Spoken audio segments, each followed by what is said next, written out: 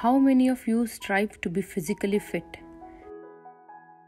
And how many of you strive to be mentally fit? Physical fitness is paid more attention than mental fitness, though both are essential to live a happy life. I will be talking about the goal of mental fitness as it is essential ingredient for a joyful life. To achieve any goal, there are mainly 3 steps which you have to follow.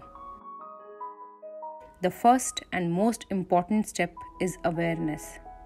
Awareness of what you want to achieve. You have to be sure of your goal first. Just like for physical fitness, the goal is to stay healthy by following a specific lifestyle and avoiding unhealthy foods. Similarly, for mental fitness, goal is to think healthy by working on your thoughts and staying away from negativity. After you have clarity of your goal, the next step is willingness. Just knowing your goal is not enough. You have to be willing to achieve it. You have to create the ability to reach there. Your mind, body, and soul should be in congruence.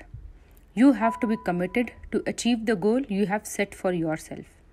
Lack of willingness will disable you from moving ahead to the next step. Now, once you are aware and willing, what is the next step? It is action. Action only can take you to your goal. Without action, you will always remain away from your goal. Once you are aware and willing to be mentally fit, it is time to take an action. So be ready and willing to be mentally fit and subscribe to my channel to be updated about my next video on the actions needed to be mentally fit and strong. Pledge to be mentally fit and break free from stress. See you all soon.